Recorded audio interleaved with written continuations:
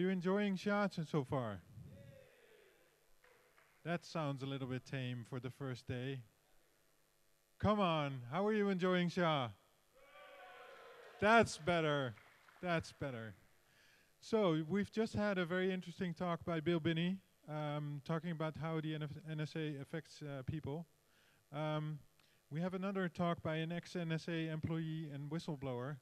Um, this is uh, Kirk Wiebe, and he's going to talk about uh, corruption and management of the NSA and how that has affected people. Thank you. Give it up for Kirk.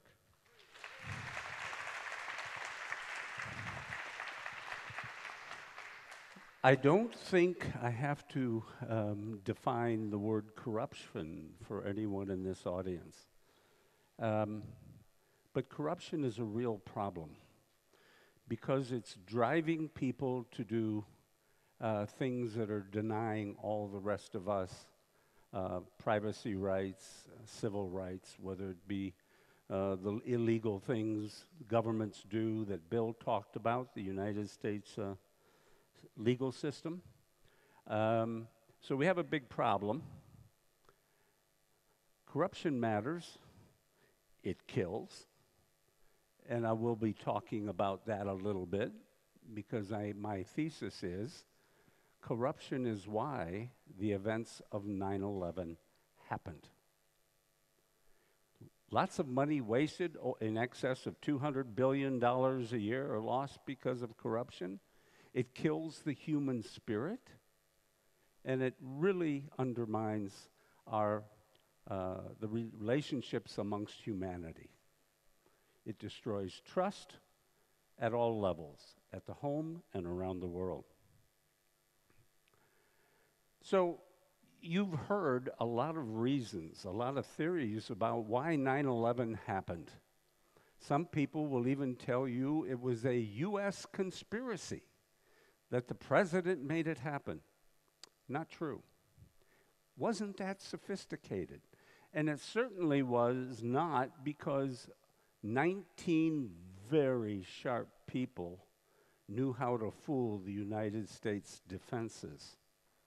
No, the real answer is corruption by a lot of different people, all the way from the White House, all the way down to the security people that belong to the airlines at airports who should have been tipped off and who should have been watching for Atta, Muhammad Atta, when he went through the gate at Boston uh, and so forth. There was a whole trail of legal incidents that these, some of these guys were involved in. Atta seemed to really ignore the law. He had a speeding ticket uh, a couple of weeks before 9 11. Uh, the police let him go. Lack of follow up, lack of interest, you name it. So, decisions have consequences. They always do. And you and I usually don't get a vote in most of them. But suddenly we have 3,000 innocent people simply going about their daily jobs, and two airliners crash into the Twin Towers, and within the next couple hours, they're dead. You heard some of the phone calls in desperation, calling home to families as these people uh, face that ultimate tragedy. Lots of money, and the bad guys, psychologically, it was a huge win. They used the success of 9 11 as a recruiting tool to show their power against the mightiest enemy of, of the Western world, the United States. How does that happen? We had a very honorable president what, 47 years ago? His name was Dwight David Eisenhower. He had just been Supreme Allied Commander in the European theater fighting the Nazis. He came out of the World War II highly respected by the American people, and we made him our president. When he left office on the evening of January 17, 1961, he participated in the very first presidential goodbye to the American people broadcast nationally on American television. I want you, I'm going to stop speaking, and please just take a moment to read these words because they apply to what you're seeing today.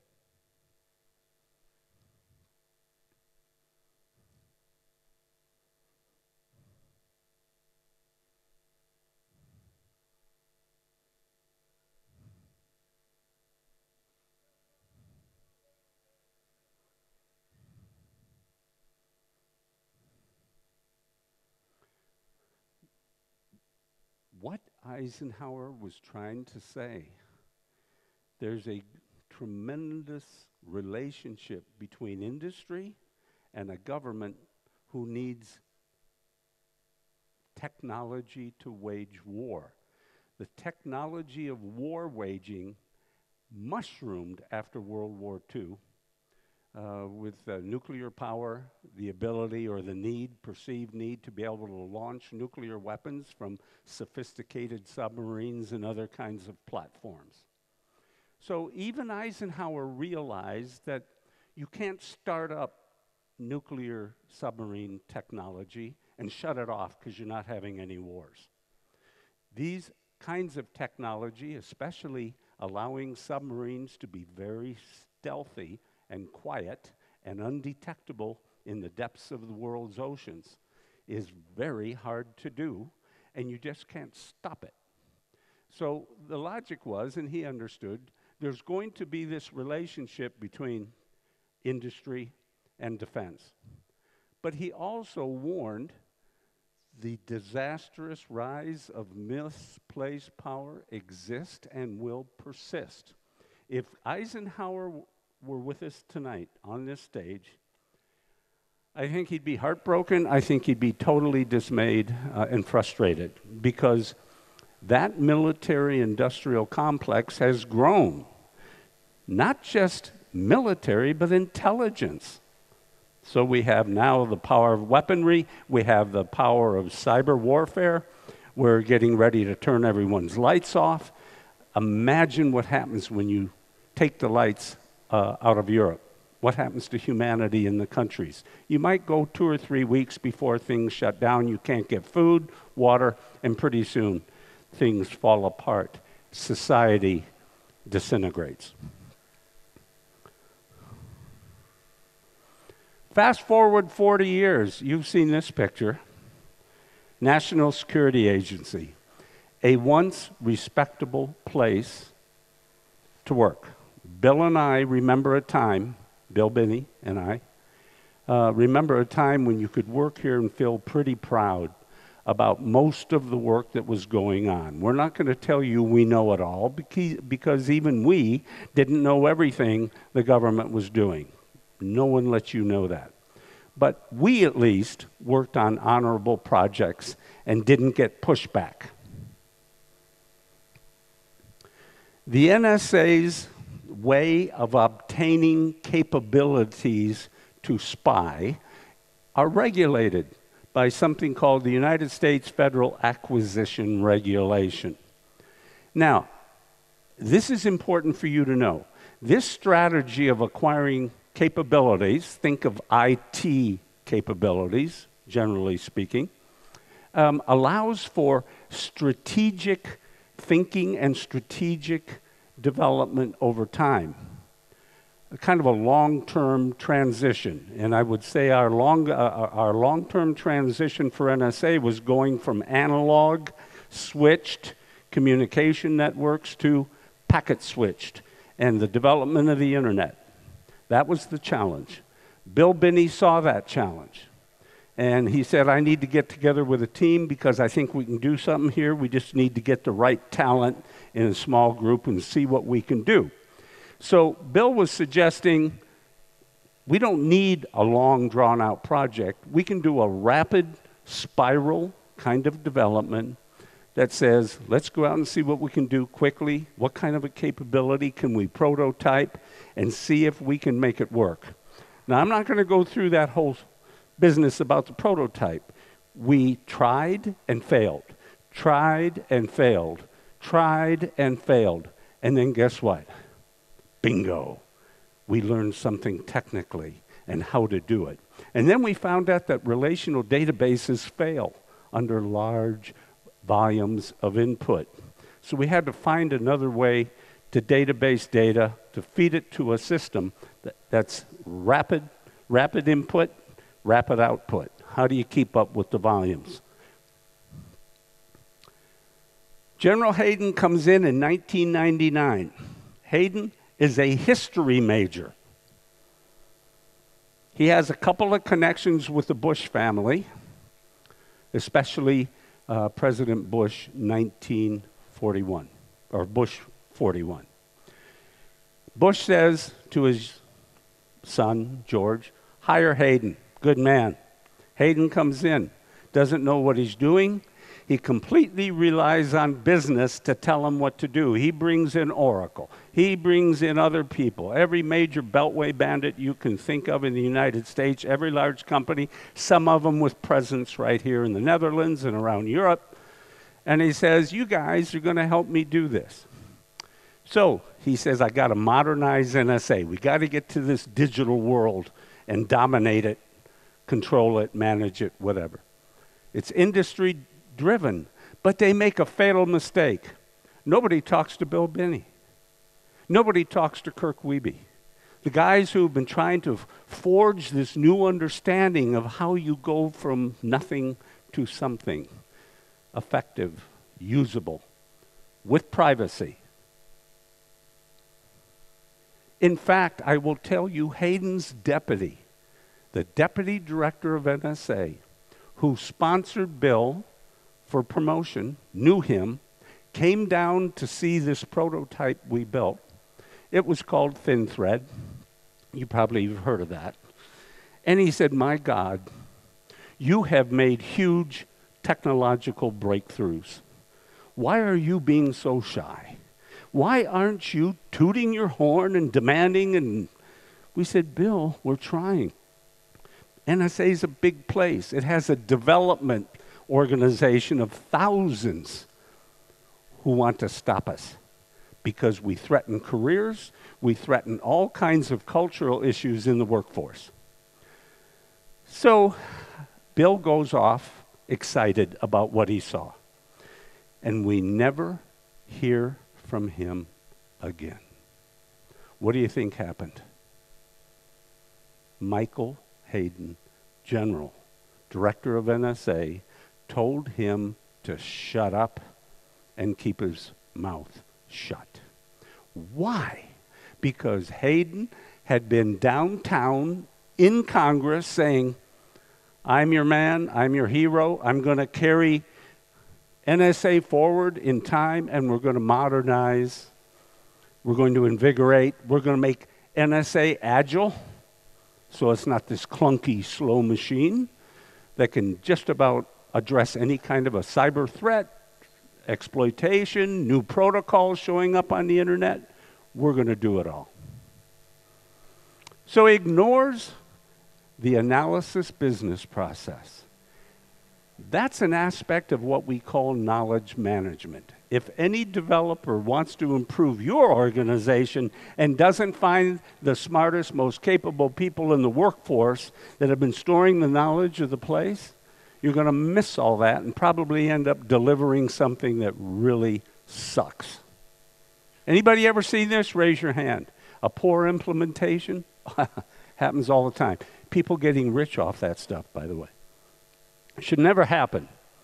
So they skip the business process. That allows vendors to just dream it up and write use cases that are not grounded in reality, but sure wins contracts. Sounds good. And it sounds good to Congress. So Congress is throwing billions of dollars at Hayden, especially after 9 11 happens. Just throw money at it. Get industry in here from Silicon Valley, they'll fix it. We saw this happening, Bill and I, and we said, look, do what you're going to do. We have a prototype. No, it's not everything, but it's something. It's a start and it works and it protects privacy. Why not use it for what we would call a risk mitigation strategy, a fallback? Because the director's dream was something called Trailblazer, and it was PowerPoints. That's all that existed. Bunch of vendors with PowerPoints.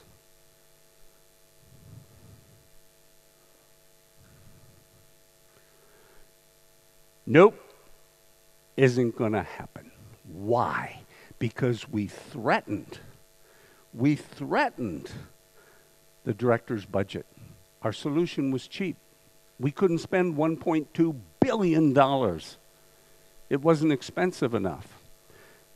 Hayden wanted the charisma, the reputation of a three star general with a big budget making Congress happy as he spends money on businesses in their congressional districts. As a result of this experiment, to save it one last time, where we find the evidence that they already knew about 9 11, didn't know that was in the databases. Now, this isn't the whole story. This is the most shocking part. There was a small element of people at NSA that knew about 9 11. In other words, NSA's existing infrastructure already captured the data about the attack, but they were ordered not to tell anyone. Now, you're only going to hear that here. That's not well reported or understood by anyone. And it was Thomas Drake, another NSA whistleblower, who was in charge of that look at the database. And he said, Kirk, you cannot imagine when I saw what was in the database that ThinThread was able to find, but nothing else did. But it's an embarrassment, right? That embarrasses the director, so he kills it, wipes it off the face of the earth. Fast forward to 2005. I don't know what else to call this. I don't like using those words. In the States, I'd get in trouble for calling it that. But I want you to know it was the most tragic situation in the history of probably the United States since before the Civil War. All those people that died, all the billions of dollars lost even Congress saw that it was such a farce what Hayden did with Trailblazer, they revoked Hayden's authority to fund any more large programs. That's how bad it was. That has to be really bad when that happens. Largest intelligence failure in the history of probably the United States, and I, I would suggest NSA has never recovered. When you lose five years of capability and the world's changing and you lose continuity, where do you start? You have to start over again. Huge loss. But Hayden's happy. See the smile? He's still smiling because he gets promoted. Congress said, What happened to Trailblazer? He said, We bit off more than we could chew. And that was the only question he was ever asked about the fiasco at NSA. So he goes on to become deputy director, director of Central Intelligence. This is how you succeed screw up, move up, get paid, get promoted, get rewarded. Anybody ever run into this kind of stuff over here? I hope you never do. So, how do you explain it? People are willing to cheat. People are willing to forget honesty. Here's some statistics. You read them. I don't have to read it for you.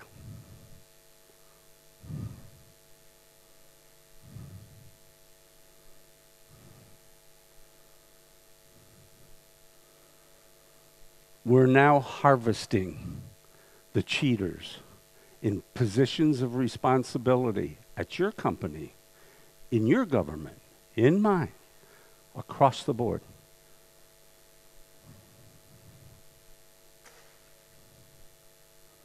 So we have this E word. We had an um, interview with a young guy that wanted to work with us, and he said, I'm an ethical hacker. Do you know how my ears picked up when I heard ethical? I said, "Wow, this much." And I asked Arjen Kamphuis. I said, "Is ethical hacker is that a new thing? Did he do that, or does, do the hackers generally think of themselves as ethical or not?" Now, you tell me, how many people in here consider themselves an ethical hacker? Can I see a, a, the hands? How about just ethical people interested in honesty? I applaud you. You stand for something. Keep it up. Because we're all in one community striving for something better than what we're seeing today. How do we make it better?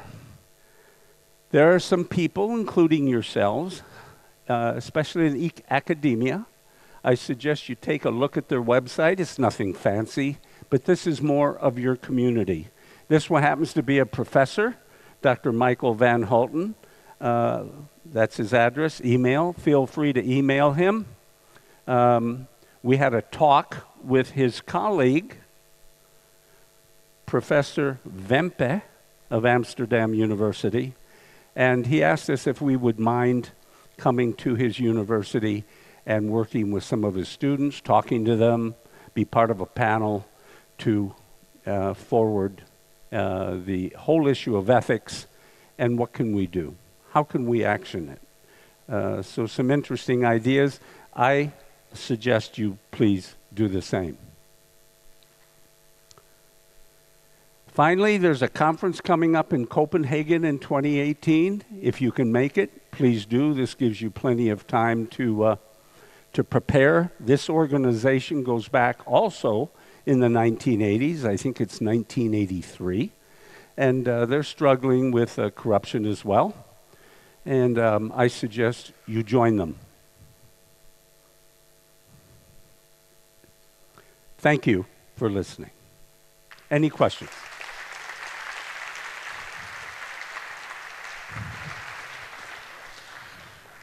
Thank you, Kirk. Um, you finished very. Uh, you finished some uh, sometime early, um, which is great. So we have a lot of time for questions. Um, I should also inform you that we, uh, after his talk and after the discussion here, we can continue the discussion um, together also with uh, Bill Binney um, in the, the tent next door, the big teepee tent the, called Explodey. Um, and they'll be available there for, uh, for discussions. But for now, please use one of the microphones to ask your uh, questions to Kirk. Any questions?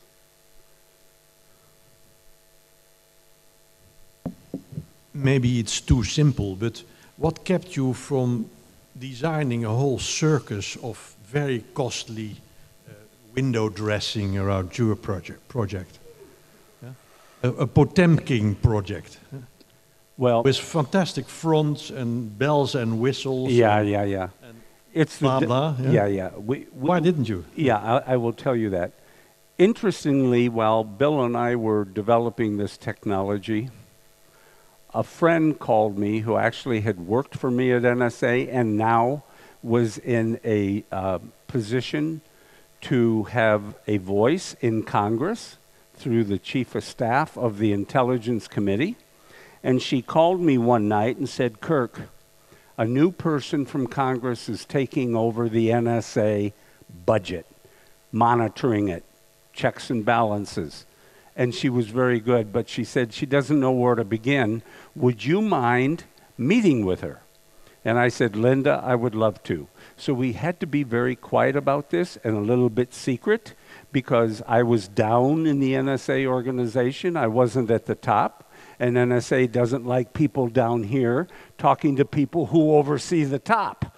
So, uh, but she knew I would be honest, brutally honest. So I met with her in the back of a diner. And you won't believe this, but when I saw her enter, I knew her by her maiden name. When I heard from Linda, I was going to talk to this lady.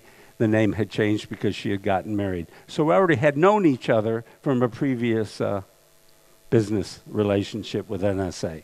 So the trust factor was there right away. And I said, Diane, there's some really neat stuff going on in an organization hidden down in the basement of NSA with Bill Binney and Ed Loomis and, and a handful of other people. She said, Great. Next time I schedule a visit, I'm going to ask to see it. And nobody has to know where I found out about it. And so she did. She came out. She asked, told the director's legislative staff she wanted to see it. We met with her. She loved it. She said, You're the only place in NSA that's really doing anything positive in this whole arena. And um, she wanted to keep track of, well, long story short, Diane actually got money for what we were doing. It was a small amount, but we were thankful to get any kind of money because the internal NSA process wasn't giving us anything. So she gave us $9 million and said, Do you have a strat? This is before 9 11.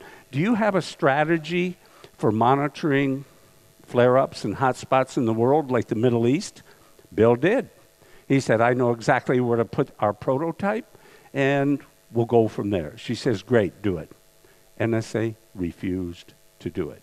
NSA said to Congress, We're not going to do it and nobody confronted NSA. They let them get away with it. In other words, we don't have honesty and integrity in oversight in Congress needed to oversee the executive branch of the U.S. government, eh, which NSA belongs to, because it's subordinate to the United States Department of Defense.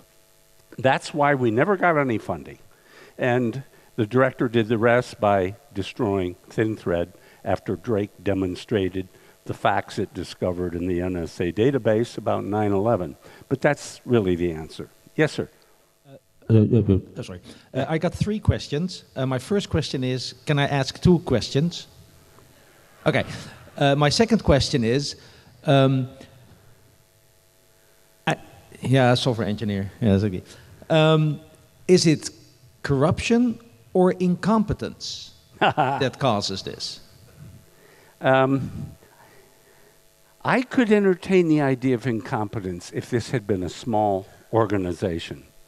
But we know that NSA had lots of smart achie- uh, achievers, technical people. Uh, the problem was uh, they tended to act like sheep. Don't, in other words, go along to get along. Right. They, Don't they, make waves. Right. They're working at the wrong level. They, are the mathematicians, the engineers. Yes, absolutely. So, so it's management incompetence absolutely. or uh, bad people, like corrupt people. Now, the director doesn't make a unilateral decision. He has a board. And most of those board members were techies years ago that came up through the management chain and got corrupted. And the director said, um, Anybody got a better plan than I do? Trailblazer?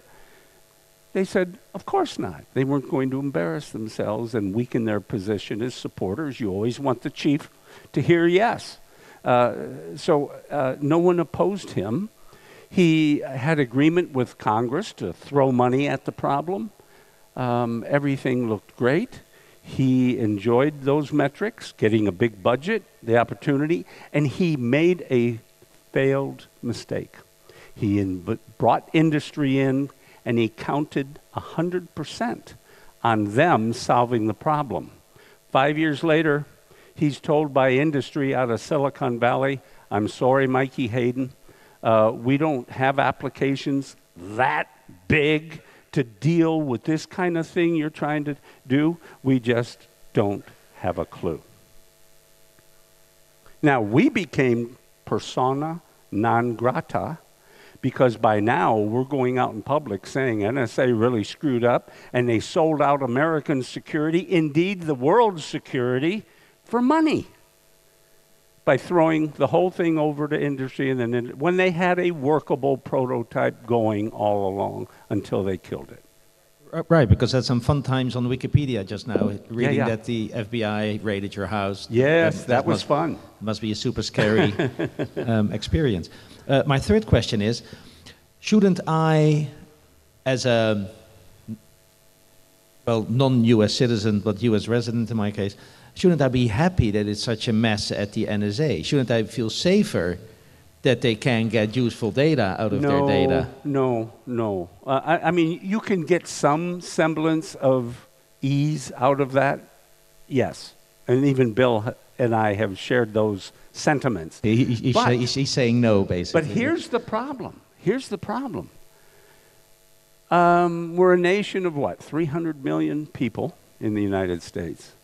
Let's say NSA can only make 20,000 uh, surveilled and make their lives miserable and destroy their privacy. Do the rest of us look and say, that's okay, it's not me, it's somebody else? Well, you know the story. When does that problem come home to roost on all of us? And that's the problem with that. So, yes, there are capabilities they don't have, we believe, that could make their job even easier and more probing, but do not take comfort in the fact that they're framing people by using NSA data in court and not telling the, the uh, attorney for the defense so people's rights are being stripped in the courtroom. And don't forget that they can make life. And now we're hearing the Obama administration people actually were spying on the Trump campaign. Now, once you use a tool of government to undermine dem- democracy, that's the very thing that we warned about long ago. Okay, so, so the, the, the takeaway is that I should start a company in machine learning. I work for Google, we do some stuff with machine learning, uh, and talk to them and sell, and sell them some better systems. I'd like to thank you for that idea. That is worth thinking about. Thank you. Anyone else have a question before we break up? All right. I suggest you get something cool. Oh, please, one more. The idea uh, that uh, military intelligence is a conflicting concept, is that true? Military in- Intelligence, yeah. Military and intelligence is, in one word, is, is conflict? Uh, no, I don't think so. Um, again, it's all about authority. Um, the, the enemy for the United States military has always been a, some foreign entity with threatening weapons and so forth.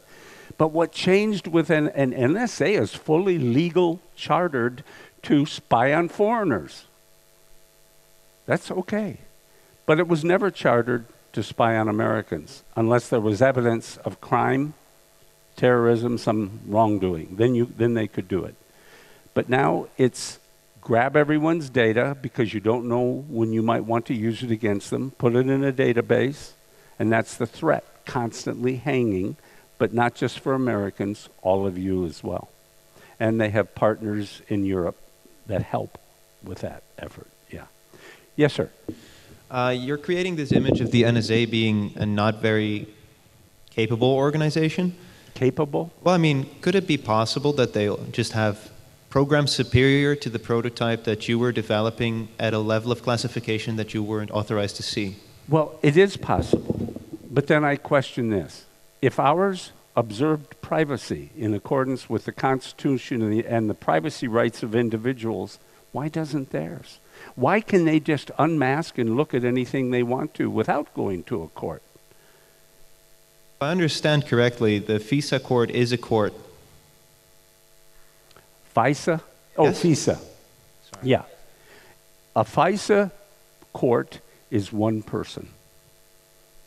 And an NSA person comes in and says, Judge, we, the NSA, the United States Department of Defense, declare that we need to unmask the identity of this person.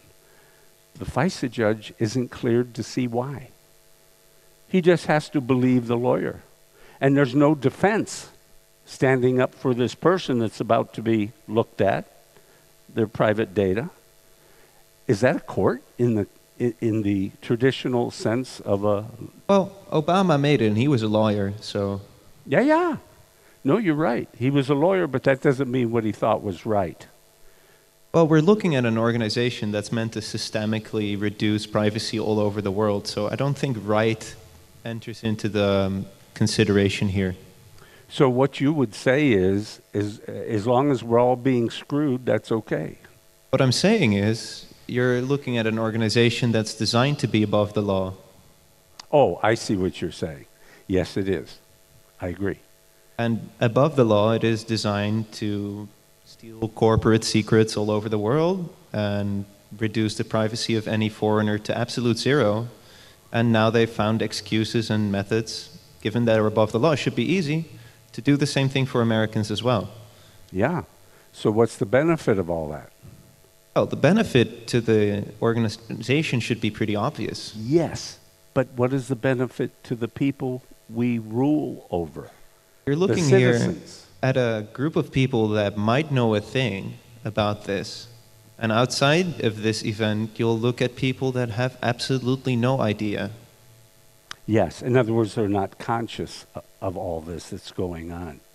A lot of people don't know the threat or what can be used. Well, I've heard this argument that the NSA is not that big a deal because they are concerned with issues of national security, which, in the case of the United States government, are indeed very serious things of national security. I'm just wondering what my privacy has to do with your national security, and, and probably the same thing goes for every individual. Well, no, the, our concern for your privacy is a matter of ethics. That's just our personal ethic that we built into the prototype because we thought it was wrong and actually troublesome to spy on people who are not connected with some kind of threat. It actually dirties up your database. Why should I look at all the stuff that's on the internet when 0.00001% is really of interest? So why clog up the system? Well, I might throw up that all of this information could be used for machine learning and artificial intelligence and eventually lead to a net benefit to national security, especially in the case of violent revolution. I would agree with that if the topic were people who are candidate terrorists, criminals, but not the world. How do I develop an algorithm based on innocent people?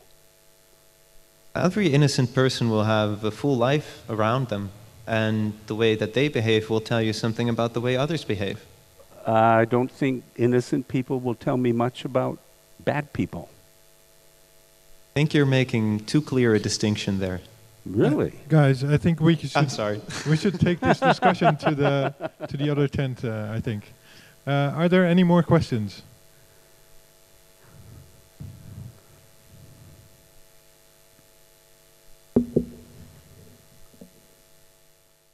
Do, you think the big data in the database of NSA are right, or might it be corrupted? Or is the bigness uh, too big to corrupt it? Yeah, it's a good question. Um, I cannot speak definitively about today's NSA database, but one thing I can say it's full of stuff that's not important. And that makes the life of the analyst more difficult because he has to find needles in a growing haystack of data.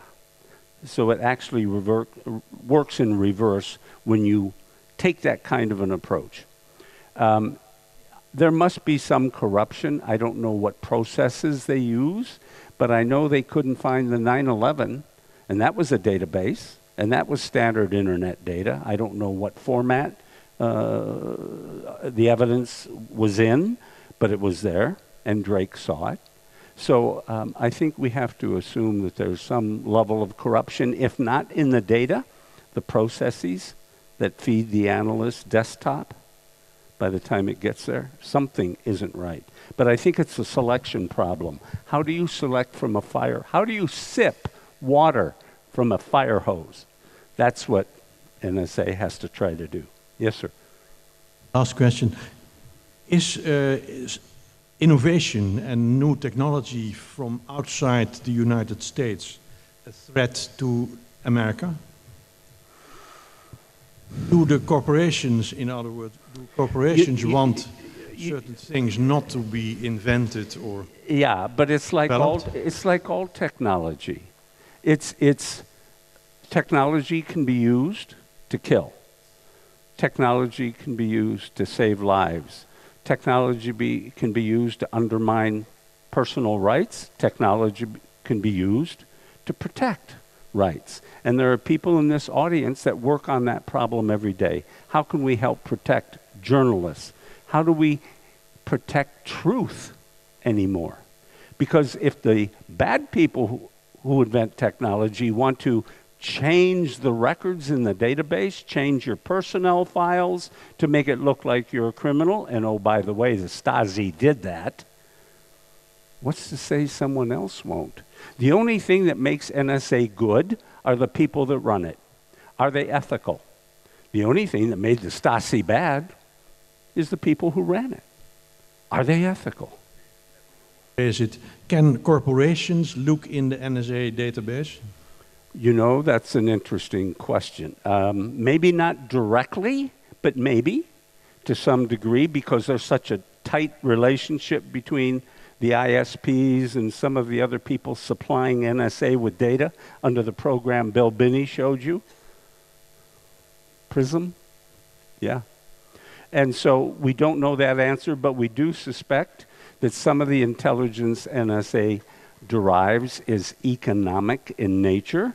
And then the question is does NSA share those insights with business to make it easier for them to compete against Europe or some other part of the world? Some would suggest yes, that's happening. I have not definitive proof, but I'm suspicious. Any other questions? You have been wonderful and patient, but you must be hungry or thirsty. Give yourselves an applause. Thank you.